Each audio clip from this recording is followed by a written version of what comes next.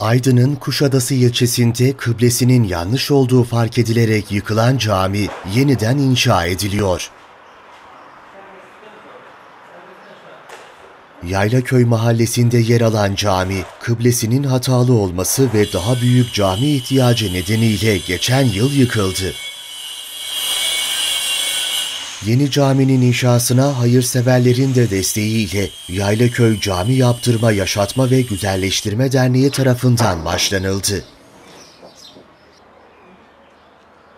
Dernek Başkanı ve cami imamı Ömer Taş gazetecilere yaptığı açıklamada caminin kaba inşaatının tamamlandığını söyledi. 4 yıl önce gelen bir imamımız Ömer Taş, camimiz, camimizin imamı. Kendisi burada bu durumu fark ediyor ve gerekli mercilerle e, yazışmalarımızdan sonra gerek pusulayla gerek uzaydan ölçümlerden kaynaklanan yapılan ölçümlerde camimizin 45 derece kayık olduğu kesinleşiyor.